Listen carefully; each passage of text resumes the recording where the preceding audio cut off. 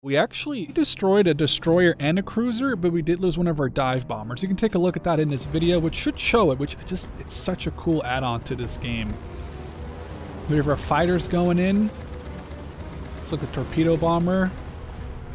That's maybe one of their escort carriers that was hit. I think. Another one. That's a miss. That's a shame. Oh, and a zero knocked one of those out. Okay, that's not good.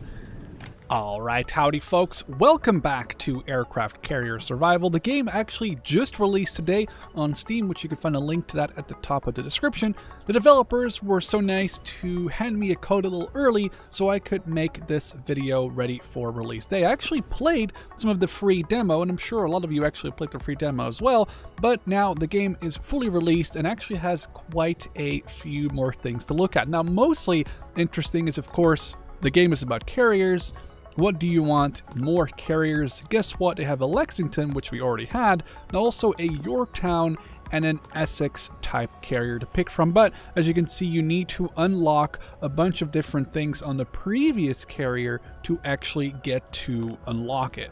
Alright, so before we get into some of the gameplay, obviously I actually have upgraded my planes to Wildcats, and I also changed the camo or color on my torpedo bombers. Really like this yellow-gray camouflage scheme. You can kind of, it's hard to see sometimes what the differences are, but you can definitely put different camos on your planes. It just makes them look, actually we'll do this blue one. Looks very fancy. You can unlock better planes, better dive bombers, but it costs these orange points, and I already spent all of them on upgrading my fighters. I also spent them on upgrading plane capacity so I can bring a couple of more fighters, and I also got myself a destroyer escort. Now we're going to go into a mission. It looks like we are going to be doing Wake Island Rescue. I should mention, by the way, there's tutorials, there's this campaign, and there's a sandbox mode. I'm not sure what the sandbox mode is. I'm assuming it's just a campaign that never ends, but it's worth mentioning there is something for people that have maybe already completed a campaign and want to do something a little bit less restricted. So it looks like we have to destroy at least three enemies to get a medal, do not lose more than two squadrons, and finish the mission within 20 hours, locate and destroy the enemy carrier, and then launch civilian VIP on the island. So we're just getting our third Hellcat on deck, and then we're going to get off this cat mission. Actually, we can send these guys in to counter the scouts. That might be worth doing, but I also need recon up ASAP. So we'll launch this, and then I guess we'll prepare the recon. Confirm it. Okay.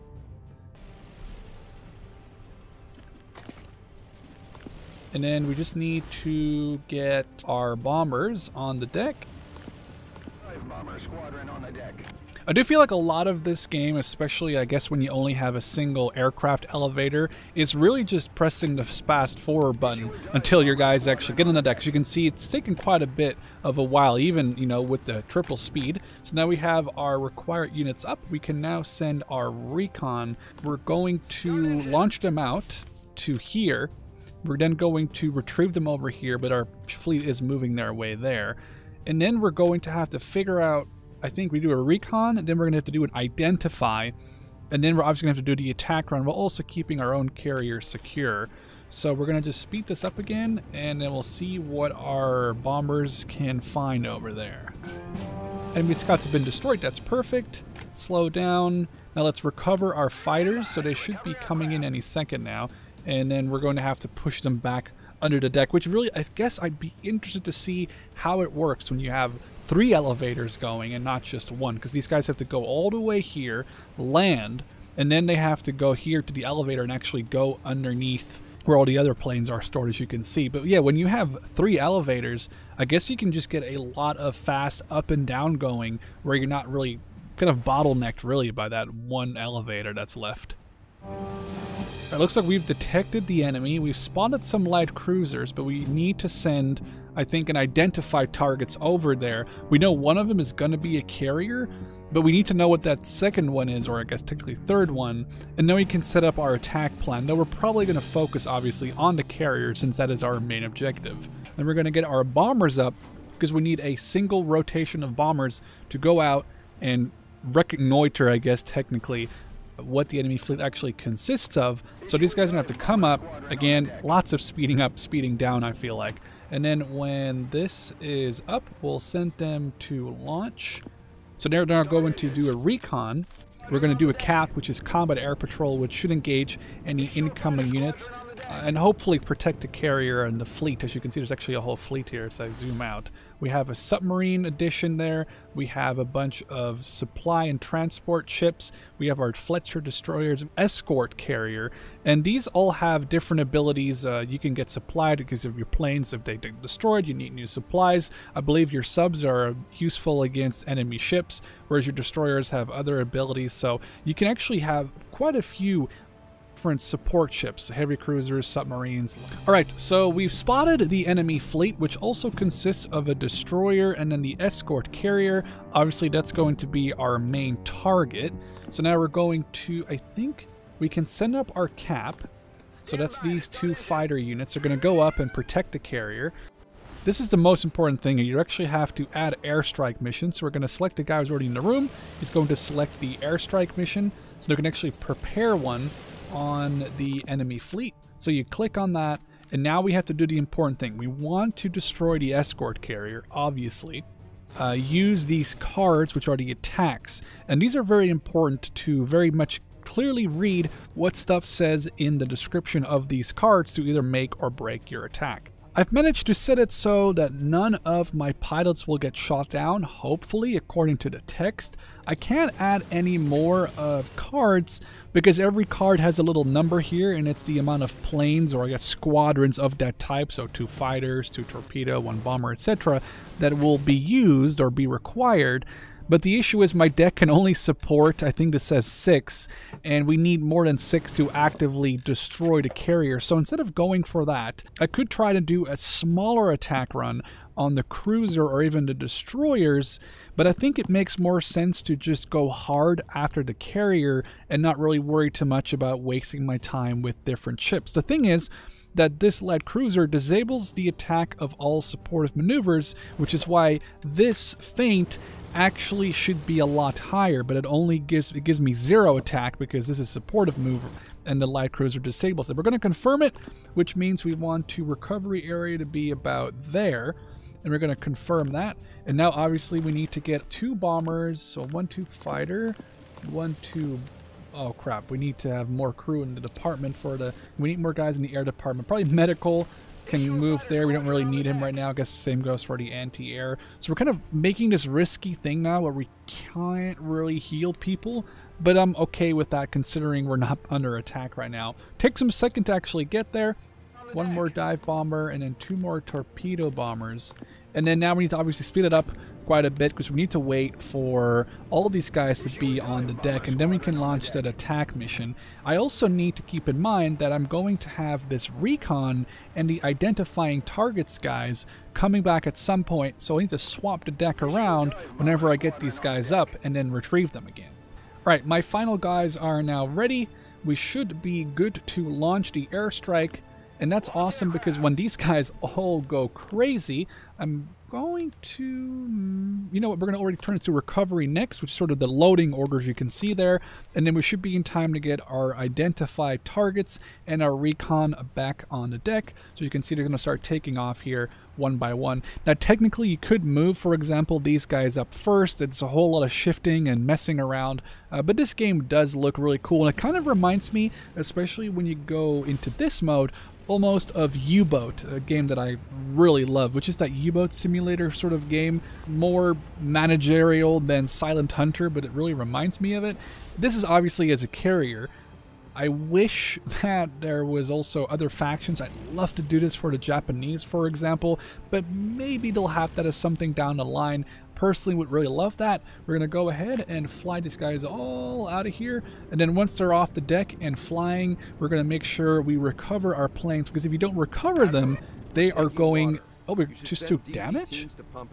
That might have just been random damage that honestly happened. So we're sending my damage control team over there if you don't recover them, they'll eventually fall into the ocean, and then you obviously have just lost a bunch of your planes. Alright, so I think the weather may have really played a part in this. I think the weather may have played a part in this. None of their ships were damaged, but none of my planes were either. And the cool thing is you can actually watch a video of what happened.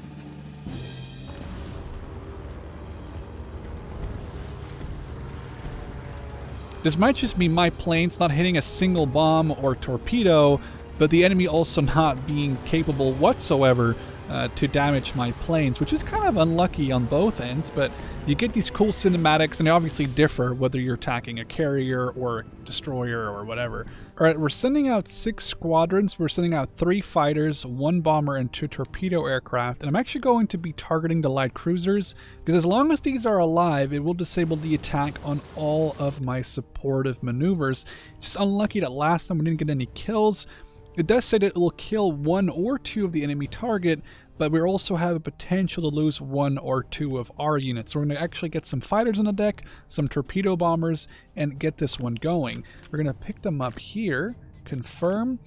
Alright, our airstrike should be ready, so we're going to go ahead and launch this one with our fingers crossed. We're going to go ahead, and I think we're also going to want to deploy two fighters to counter these scouts, and then we need to recover the entire airstrike or they're all going to crash into the water, which obviously would be just a little awkward. But you can see it takes a little while for these guys to get off the ship, get them going. You know, we're talking about like 18 airplanes here. These guys don't move very easily, clearly.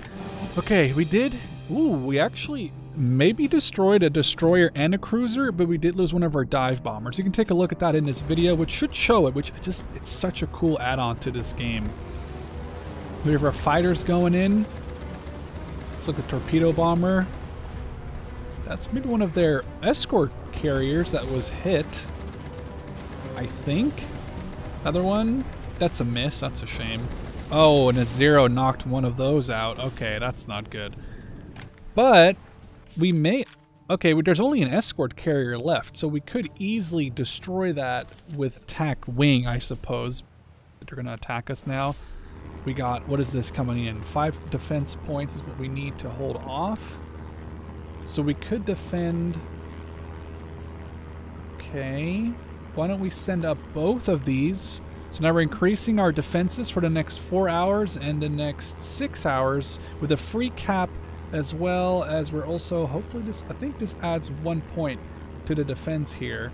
We're not going to worry about this. I don't have, oh, I don't have a guy right there right now. Oh crap, I need to switch a whole bunch of people around.